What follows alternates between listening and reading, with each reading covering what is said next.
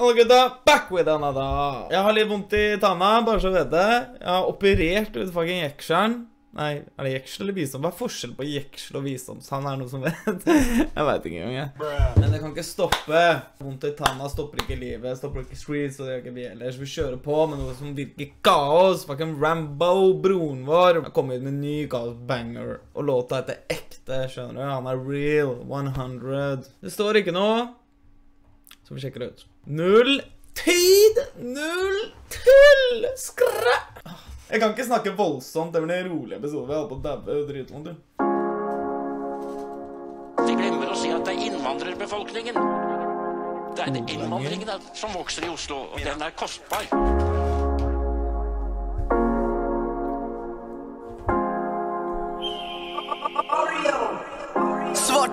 Jobbet hardt siden start. Prøvde å finne vei, ingen av oss hadde kart. Det var ikke lett, det var ikke fett, jeg ble ikke mett. I hoden var det alltid noe som var galt. Prøvde å sove, men var våken hver natt. Fins ikke fred i hoden, holdt det lavt. Mamma sovna ikke før sønn hadde kommet hjem. Tro meg, det skjedde dag etter dag. Min egen sirkel, for jeg orker ikke gjenger. Starta bunn som alle andre, ingen kan si en shit. Ringer ikke tolv, vi ringer bare family.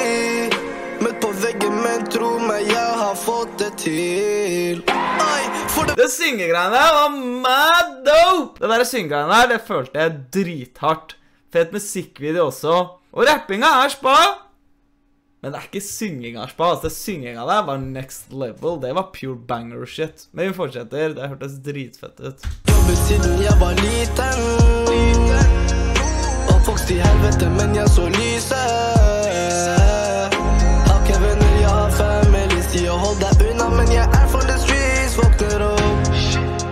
Sjanse til? Vi har bra dager, sola skinner og smil på vår munn. En sliten mor bærer på fulle poser, alle står opp og hjelper til. Besen på fire hjul, blålys på taket, svinger inn. Paranoia, ja, den kicker. Alle sammen løper hver sin retning. Alle løper hver sin retning, men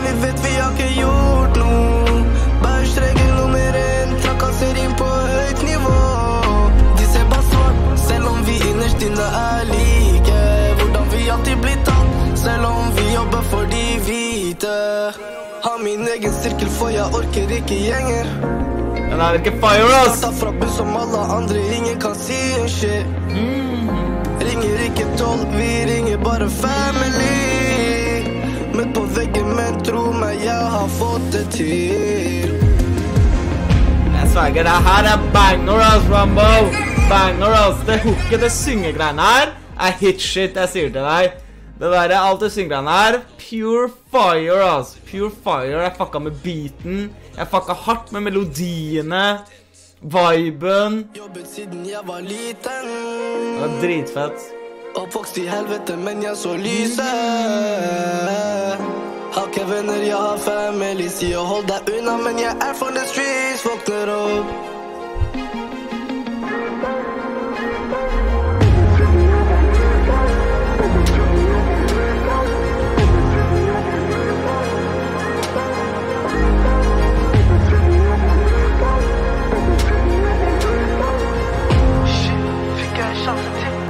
Var surhørt, kompis? Han flekser med greia på den greia. Det er dritbra. Men jeg sverger, det her var banger. Og jeg har alltid følt at Rambo ser ut som en stjerne og har personligheten til en stjerne.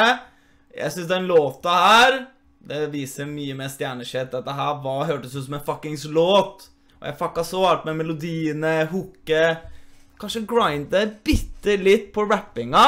At eh, at det også på en måte gir litt mer musikalsk mening og er mer satt opp. At du har en sånn En flow loop da i åtte bars, på en måte. Uh, jeg veit ikke. Men var, jeg syns det er dritfett, i hvert fall. Var dritbra. Det eneste jeg savner en del Vet du hva jeg savner i norsk rap? Adlibs. Jeg føler mye norsk rap hadde blitt bedre om folk smelter på litt adlibs. Adlibs er det som gjør på en måte amerikansk rap mot de amerikanske Altså, det er det som er in. Men nordmenn er ikke de norske rappere er ikke så flinke på å bruke adlibs. Det er veldig mye sånn bare én stemme hele tida. Og det um, er litt kjedelig for helt ærlig. Adlibs gjør mye. Etter Migos Du må ha adlibs, bror. Jo mer adlibs, jo bedre. Men det er sånn småting, altså. Jeg syns dette var dritfett. Dette er noe av det fetere vi har reacta på. Dette her høres ut som shit som kan komme på radio. Det viser versatility. Jeg syns det var pure fire. Jeg fucka hardt med de melodiene her. Godt jobba. Så vi passa en like. 100 vi passer Rambo like på den her. Og her var jo fire. Så les og comments. Så sier fy faen, jeg griner. Beste jeg har hørt på lenge. Jeg tror på det. Jeg tror folk griner av den der. For jeg, jeg vet ikke, jeg hørte ikke så mye av Barca sånn spesifikt, men det høres jo ut som en eh, eh, låt med dype bars og litt mer real bars, og det er også dritspa. Den som sier 'håper neste sang blir bedre'. Jeg veit ikke om det er kompliment eller en diss. Var ikke det her jeg Dette er den feteste Rambo-låta jeg har hørt, i hvert fall. Det er helt klart. Det eneste er det der rappeseksjonen kunne ha bare vært bitte litt bedre, liksom. Eh, men det er sånn småting. Jeg syns dette var skikkelig fire. Jeg kan se meg for meg her gå på radio. Hvis kidsa hører det her, det kommer til å smelle. Det er sånn damer kan høre på. En som sier 'Jeg liker sangen, ikke ta meg feil', men du rapper om trap life og så, vid og så videre, og du lurer på hvorfor politiet stopper deg. det er litt true, det. Litt true. rapper bare om at alle gutta rapper om at de skyter folk, og så klager de hele tida. Og Rambo har svart, da. Lattis. Du sier du hadde skjønt hvis du leste innlegget. Jeg veit ikke hvilke innlegg de snakker om. Men han sier vi ungdommer, inkludert deg sikkert, ender opp der vi får mest kjærlighet, og vi begge vet hvor det er. Det var deep sagt, skjønner du. Streetsa, det er de som gjør det kjærlighet. Gutta streetsa, og det er litt sånt. Men OK, whatever. Det var dritfett. altså. Jeg syns det var dritfett, faktisk. Jeg synes det var ordentlig godt jobba. Dette her eh, høres ut som en ordentlig låt. Det høres ut som det er litt større produksjon bak det. Det, hadde en egen vibe, en egen sound. Smekk det her på radio, så blir det fire. OK, skal vi sjekke fort? Fort 730, kanskje? Skal vi sjekke ut 730? Det var det Will der egentlig, hvis det er Will Smith. Har du sett det Will Smith-greiene? For en klovn. For en klovn! Jeg sier til deg. Hva faen, egentlig? Jeg skjønner ikke hvordan Will Smith har blitt verdens største simp-taper, ass. Hvordan han, hun kjerringa driver og chatter så mye. Chatter så mye! Og så går han og lapser fucking Chris Rock av alle, skjønner du? Bare lapsa en kjerringa ved siden av òg, eller, eller han en dunker, ikke sant? Helt hjerneskada, hva faen? Og jeg skjønner ikke hvordan kan du bli sur hvis du velger å brette ut om hele livet ditt på sosiale medier? De folka er på intervju sjæl, skjønner du? De er på et intervju og chatter om livet deres hele tida. Og så skal du flippe av når noen fucking eh, kødder med livet ditt, skjønner du? Det er like ufrivillig, av meg å miste håret som fucking Jada Smith, men hvis noen fucker med kødder med at jeg mister håret, skjønner du, ingen skal bry seg. Og jeg bryr meg ikke sjæl, skjønner du. Du må tåle litt av hva er det du lar folk at Jeg sverger, de, de folka tror de er guder, ass. I hvert fall hun der Jada. Det virker som hun tror hun er gud. Jeg sverger, hun dama virker jo psycho. Bare chatter om Topak, dunker andre, chatter hvor, snakker om hvor doof du er hele tida.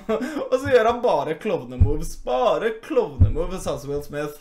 Men ok, fuck det. Jeg merker at jeg har altfor vondt i tanna. Vi avslutter der. Fuck det her. Så pass meg likes, pass meg subscribes, comments, og good shit. Og så snakkes vi på. Bra!